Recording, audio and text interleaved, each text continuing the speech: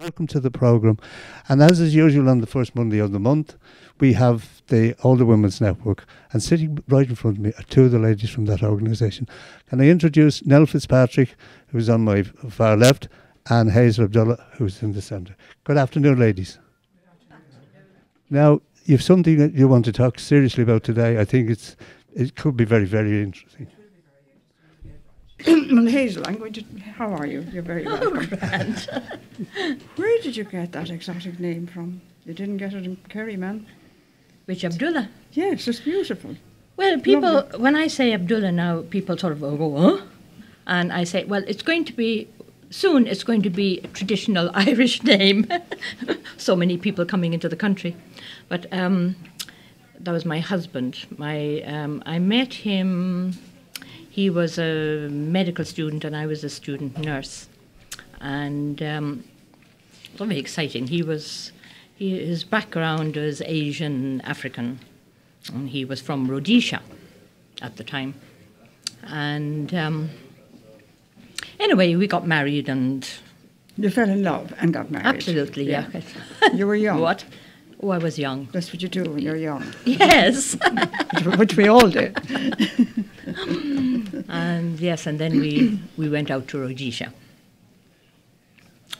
And, uh, oh, quite a different. Just tell me, what was it like in Rhodesia? Smith was there at the time, wasn't he? Yes, Smith, and they had just got the, um, they just sort of changed Right. and uh, then you had all the sanctions and all the things. Ah, loads of Kind different of a turmoil, things. was it? Oh, yeah. Um, it was very racist at the time, and because my husband wasn't white, I um, had lots of problems from the white people. They were very nasty to me. In what way? Oh, the things they said, very rude. The fact also that you were that- Irish. Have No, it was only because I was white and not married to a white person. But when I looked at that and I thought, but this is very familiar because when I was here, it was the Protestant Catholic thing. And it was a very similar thing. You just sort of, because somebody is something, you just sort of say bad things to them. Well, a Catholic didn't marry a Protestant. Is that what you're saying? A Protestant marry a Catholic here? Well, yes, they did, because my father did. My father, because I'm Church of Ireland, Mm-hmm. and uh, my father married a Catholic woman. Well, could you see a relation between both uh, cultures, between the, the Africans and the Irish, as regards the, the uh, religion and the colour? The religion didn't make any difference. No, but what the way you were saying? Um, but the- no, the but the, the, the sort same, of yeah. things that the, the white people said to me and said to the black people. Mm-hmm. And uh, we had the same, similar kind of thing. So I got on very well with it. I managed to cope. Were, with it. And then, of course, there was the Asian thing because my husband was a Muslim. So going back there, it was Salisbury at the time. Now it's Zimbabwe and uh, Harare. And um, he, you know, his family were, you know, the Asian connections. So and how did how did they receive you? well, they weren't that keen.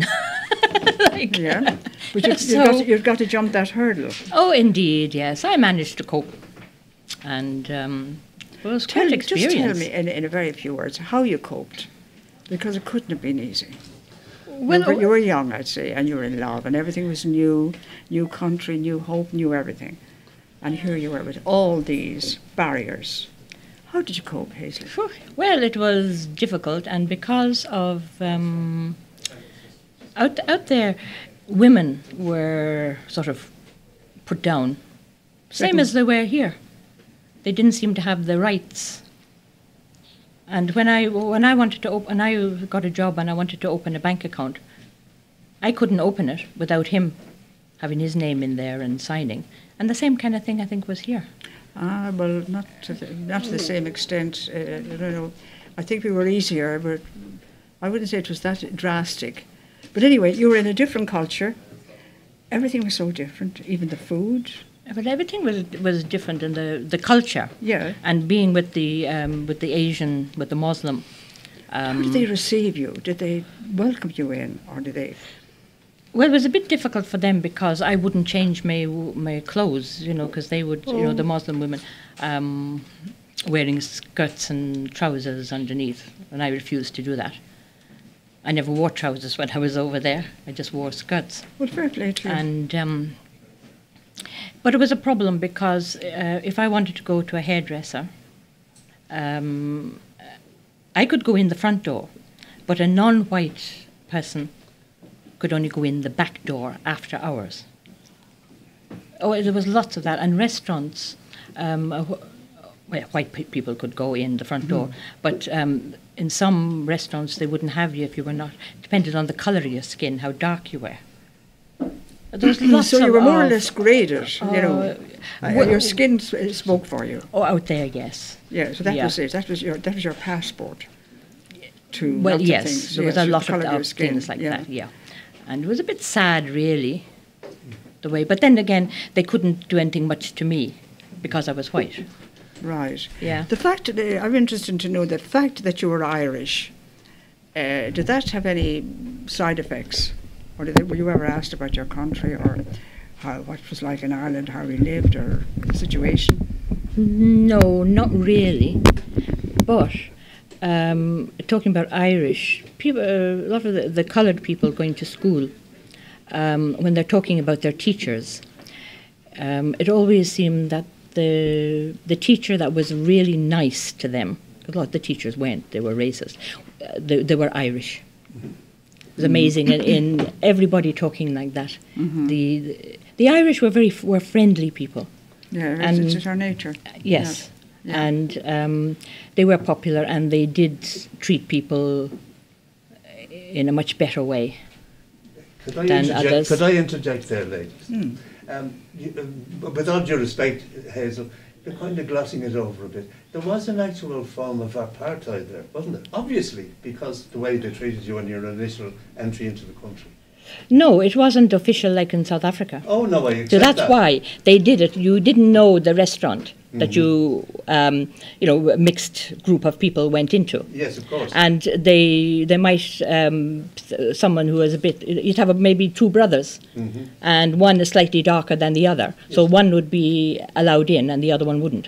But there was that discrimination all the way along the line, wasn't it? Yes, but uh, apartheid, it wasn't apartheid like South Africa. No, I accept that. Up, you see, in South Africa, it was official, yes, of course. and it wasn't in in uh, Rhodesia. It wasn't official.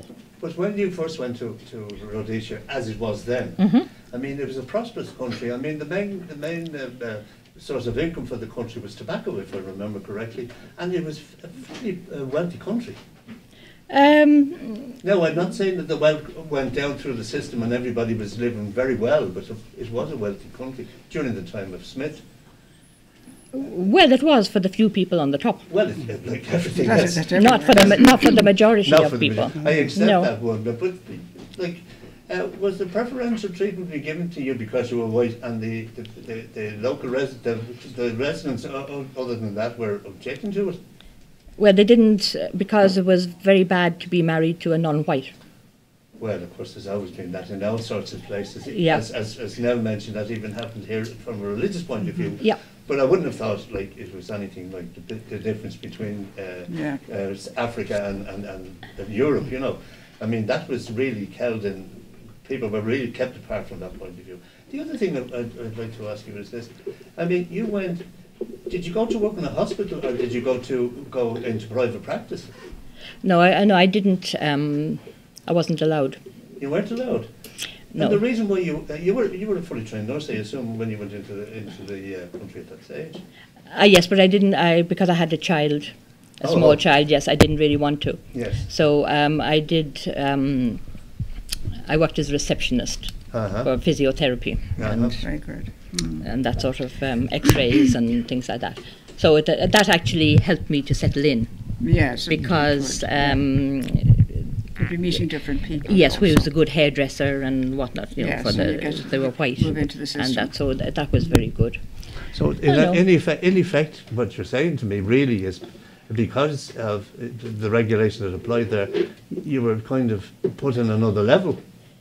Well, you see, that was difficult for them because I was white. You see, so they, they couldn't do They had to say things, but they couldn't physically actually do them. So, Yes, of course. Yeah. So it, uh, no, the thing is, I'm a person that uh, um, I try and have a decent life, Mm-hmm. and I like I'm friendly and You make yeah, your I own like to have a yeah. laugh, and Yeah. you know, I managed, I coped, Mm-hmm. and I'm going to that- ask. Sorry, so I'm going to ask you something very basic. How about the food, Hazel? When you went out there, how did you find food in in uh, Rhodesia? Oh my goodness me, what a shock when I went out. Because uh, living in the other culture, and you know, we had potatoes every day, and they didn't. They'd have their um, curry with a bit of potato in it, but they wouldn't certainly have our You wouldn't have a steak now or So, ham or not the way we did it, no. And um, they didn't have the same vegetables that we had. Like cauliflower, cabbages, broccoli, celery, and, celery. and that sort of thing. They had all different ones. And what were they so, like? um, what were the vegetables like? Well, it was very nice, but you wish for your own thing. So when I, sometimes when we were um, out, uh, well, in people's houses or whatever, I try and fish out the potatoes out of the, out of the curry and one, and they sort of say, well, "Why aren't you having the meat?" So I'd have to sort of say, "Well, I like potato," and You were reared on it. I was reared on them. and the Stable diet. and uh, the fruit. You know, our fruit is um, is sort of uh, got a tang in it, and so you put sugar in, and you can make a pie, a tart, and all that, and it's got that lovely flavour. Now out there, the fruit was all sweet, so you know, uh, so I couldn't do the cooking that I was used to doing because the things were not the same. Had to manipulate things. And you had to kind of change your whole attitude to cooking, had you? Yes, I had to learn how. You see, the thing is, just because they don't have what I had, you know, I um, would find out how do you do it, and I'd ask different people how they cook that, and then I'd be able to say, ah, I can do it that way. And it wouldn't be the same as, as here, but be you know a bit more a similar. try. And um, so I, I got some pretty good recipes. Good. You never poisoned your husband, like. No, You never, Well, you never asked him. no. Well, you see, we had to uh, do. I had to learn a bit of his, Um, of course. and then I had to have some of mine, yes, of course. and then we had the in between. Yeah. Well, one So- thing I'd like to ask you, uh, if you don't mind me uh, uh, barging again, um, were you there in the transition to, to Mugabe's government? Yeah. Yeah, and what difference did that made, make initially to, to your circumstances? It, well, it, it um, did make a difference. In what way? Um, ah, slowly, because there wasn't the, the same racism. Well, uh, initially when he get, when Mugabe came into power, he promised all sorts of things. He promised no no no difference in the in the population, but I mean things went, as you know, radically wrong in the in the in the interim. I mean, it's a completely different place now. You'd be terrified to go to. But at that time, it didn't make any difference to you as, as a white person, did it? No, it just turned around. But the the thing is, because I'm a very friendly person, um, I got on with all the races. Mm-hmm. And I mean, sometimes I'd be the only white person in a huge, big, you know, with, with hundreds of black people. And, you know, people would come and talk to me. And what I Well, was may I ask you a question and on that. that. How would you find just being the only white person? Not a bother. Really? Yeah. You wouldn't find it intimidating? Not at all. Because people would always, because I smile and I'm, you know, a happy person, somebody will come up and um, help me and make sure I'm okay, make sure I have a seat and make sure I have a cup of tea and all that kind of thing. You know, the people are good. You sound as if you certainly worked at it, worked at integrating yourself into the society that you went to live in. Oh yeah, I actually, I really enjoyed. Once the first little bit got Mm, over, Got over, yeah. then um, it didn't matter because I'm. I will ask somebody how they cope with their, you know, culture, how they Mm. do it, and I will, you know, be comfortable then, Mm-hmm. trying to fit in. Well, did you make friends? would you have women friends now out there? Would you have a night out with your women friends? Would you go to the theatre or that type, as we do here? Not so Have a much meal and a few there. drinks There and- wouldn't have been the same things.